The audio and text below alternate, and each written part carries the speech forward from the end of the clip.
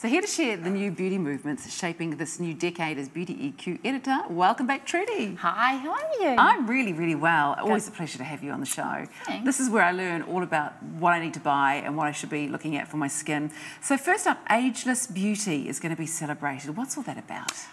Think brands and retailers have done a really good job at representing different ethnicities and communities. And Fenty Beauty was probably the catalyst for that with a range of different foundation colours that suited everyone's skin tone. Um, but I'm going to put it out there. I think the beauty industry is still marketing to a white millennial. So there's a lot of work to be done there. Yeah. Um, and the big trend that Mintel, which is a global research um, company, are coining ageless is the message that we're going to be hearing. So it's inclusive.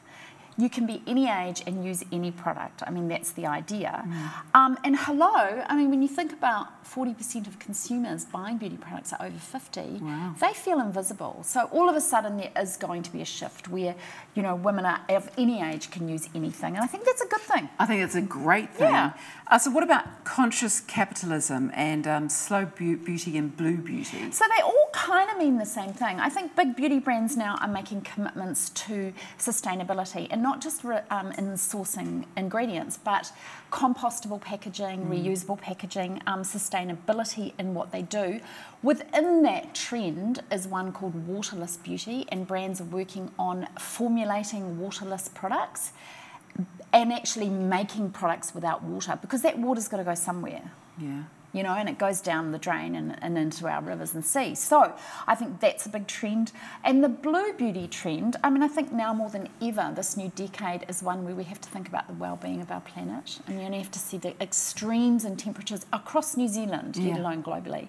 So beauty brands are now contributing to that. Um, in that they're caring for our planet. And actually, one brand that's doing that really well, and it's new in New Zealand, although it's 45 years old, born in the UK, Right. is Faith in Nature.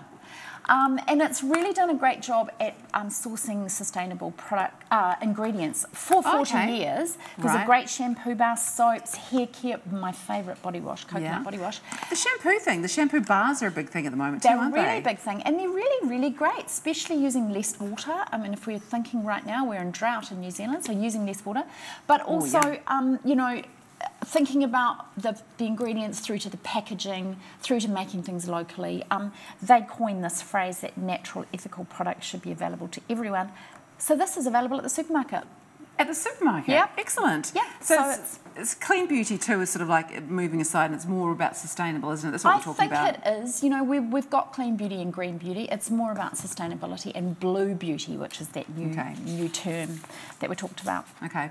Okay, what about microbiome skincare? Yeah, well, this is interesting. You know how we're all obsessed with what we eat and our gut health? Yes. Well, it's exactly the same um, principle as skin health. So, apparently, Mintel again say that we have a trillion microorganisms organisms sitting on our skin, and not one of us have the same ones or the same makeup to Oh, them. wow. Okay. So, you're going to see a real surge of bacteria balancing ingredients in skincare. And it makes sense because if your skin is balanced, it's healthy. Um, and one brand that I think we overlook, again available in the supermarket, is um, Aveeno. They've got Dermexa and they've got a skin relief product. This is made with colloidal oatmeal, and I don't know if your grandmother is, if you ever got sunburn, your grandmother said sit in an oat bath, an Yes, oatmeal bath. yes. This is it. Used to you do that, but put face packs of Yeah. oats on your face. And so the fermented oats speak to that microbiome trend. Um, there's moisturisers, um, body washes. I've seen so many people sunburnt this summer. Shocking. Not me. So that is great at body wash. The other one is Elizabeth Arden, um, their Superstart range. They do a um, probiotic boost. Now, just to make it clear, prebiotics feed probiotics, and they are what are good for your skin. But you need those ingredients to make them work. So this is a good little sheet mask, a Nice. probiotic boost. For Who doesn't skin. love a sheet mask? Exactly.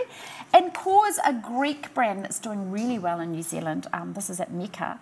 They have, I think it's the first ever superdose. Um, it's called Hydrobiome Superdose Anti Pollution Face Mask. It's a real mouthful. But that is a really great product for overnight, you know, getting your skin balanced Right. if it's feeling dry, a little flaky, smell of it. Ooh. little bit red, made with Greek yogurt. So this is anti-pollution. What's all that skincare Yeah, about? Yeah, and that's our next little trend.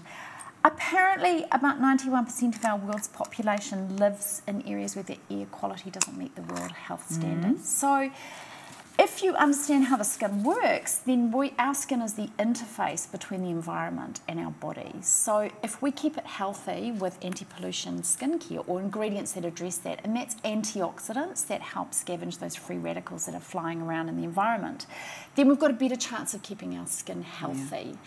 Um, one brand, and they've just got a new launch this week actually in the extra firming range at Clarins, were actually the first brand to really champion anti pollution using plant extracts, and kangaroo flower is one of the most potent ones in that one. Right. Um, What's the firming one? I'm going to have to just have a little. Yeah, for the neck and decollete. Now, I think Ooh. that, yeah, very handy. So you work that out straight away. Great tube for travel. Very good. I think we forget about our neck and decollete a little we bit. We do. Just rub a bit on there. Sorry, microphone how people. How low yeah. are you going to go? Yeah, okay. Right, so we do, well, like, we forget about that, don't we? Because we don't see it as much. So smells yummy too. Yeah, I love that smell. It's nice. Um, so that's full of great um, ingredients. And just quickly, um, our own um, Manuka Doctor is addressing anti-pollution. That arrived actually yesterday. Um, with Manuka honey, we know how nourishing that is, bee venom and peach flower extract. And that's the night serum, which I think is great because Ooh. that's when your skin is renewing I like, itself. I like to try everything else here. Okay, so, so you're going to see more of anti-pollution skincare. Good, definitely. it's important too, and I'm going to have really a nice firm hand on that one and a beautiful one there.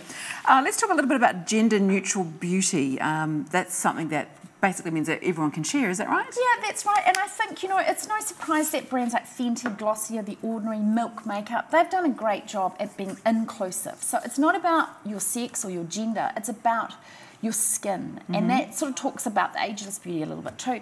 But get ready for a gender free frenzy or gender fluid frenzy when right. it comes to beauty. Um, and not just what you expect skincare, there's going to be a lot of men's skincare or gender neutral skincare and concealers, foundations that men can wear as well. Right. I'm not sure how brave our New Zealand blokes are going to be, but I say go for it. Getting braver by the minute. And one, one brand that really did pick up on that unisex fra- and launch unisex fragrance was Calvin Klein.